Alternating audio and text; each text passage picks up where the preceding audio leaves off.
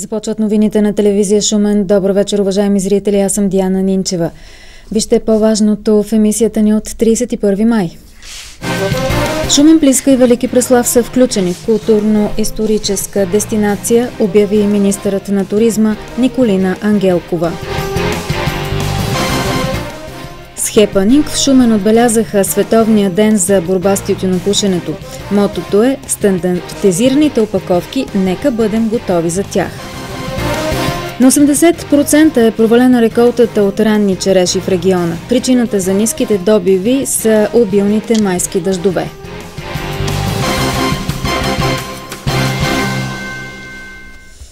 Шумен и старите български столици, Плиска и Велики Преслав са включени в културно-историческата дестинация, столиците и градовете на българските царе и патриарси.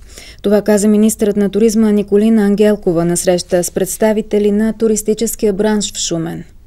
Възможностите за финансиране в сектор туризъм по линия на различните европрограми ще бъдат представени в Шумен в рамките на информационна кампания, обяви още министър Ангелкова. Община Шумен ще се включи и в билборд рекламата, при която общините взаимно промотират културно-исторически забележителности и атракции. Ние създадохме и онлайн регистр на туристическите атракции. В него има от област Шумен 121 подадени, като този онлайн регистр той не е затворен, той е динамичен и по инициатива ваша и на общината, чрез общината разбира се, всяка една атракция, която е важна за туризма и е пропусната, ние можем да я добавим веднага след като бъдем информирани. Регистъра на туристическите атракции ще се обогати и с секция за фестивалите и събитията от културния календар на всяка община, посочи министър Ангелкова. Тя обърна внимание, че общините имат право да ползват 50% намаление на таксите за участие в туристически борси и изложения. Много разчитаме на активност, защото всичко като резултат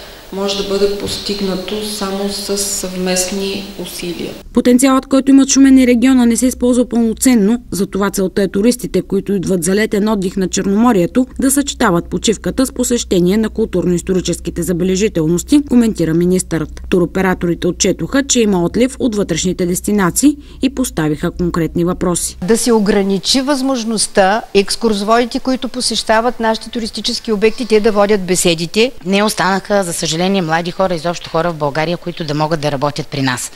За това конкретно предложение. Считаме, че а, би следвало възрастовата граница да се намали а, тази, за която става въпрос за работа в заведения. Туризмът ще бъде приоритет за община Шумен, обяви в присъствието на министър Ангелкова кметът Любомир Христов. Именно за това правим тези срещи и ще продължаваме такива срещи за да можем да популяризираме това, което имаме като даденост Шумен.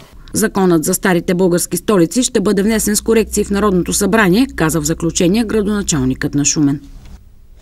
Днес министърът на туризма посети и част от най-посещаваните обекти в региона. Тя разгледа паметник създатели на българската държава, астрономическата обсерватория на платото, Шуменската крепост, пещерата Бисерна и голямата базилика в Плиска. С посещение на мемориалния комплекс Създатели на българската държава започна обиколката си на туристическите обекти около Шумен Николина Ангелкова. Там тя бе запозната с историята и композицията на монумента.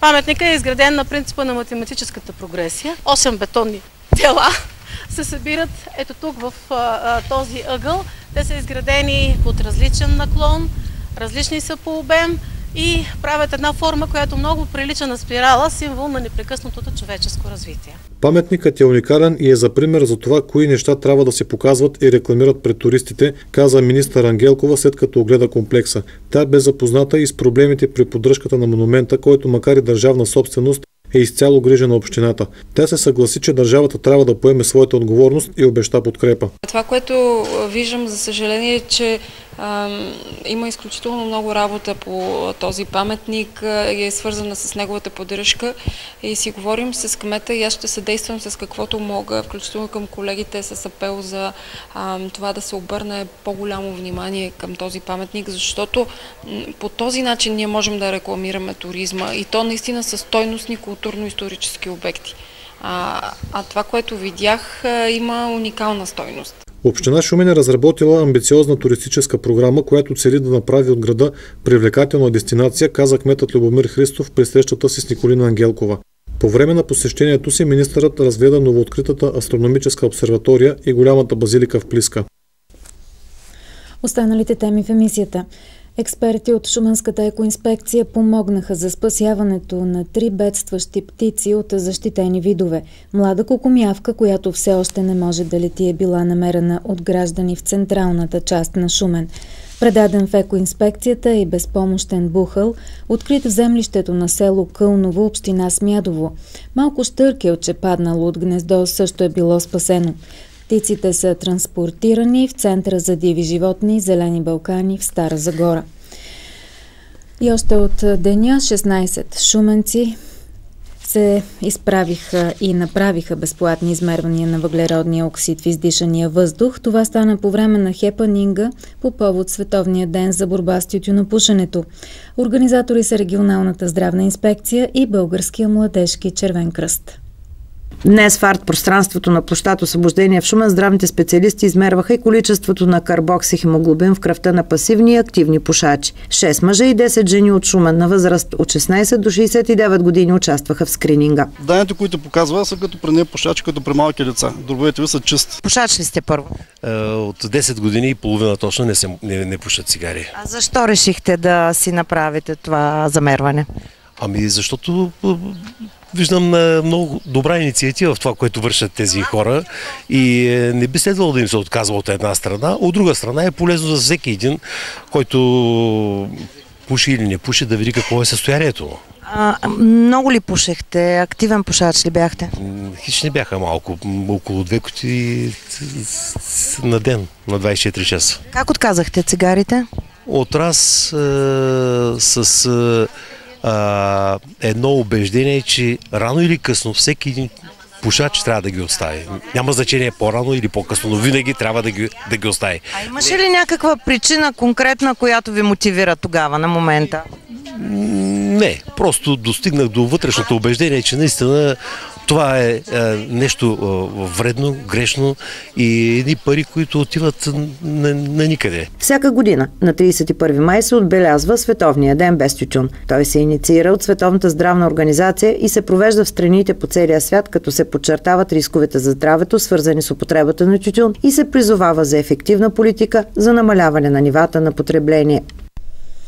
На 80% е провалена реколтата от ранни череши в региона. По данни на областната дирекция земеделие, баритбата на рано зреещите сортове продължава, но заради дъждовете добивите са изключително ниски.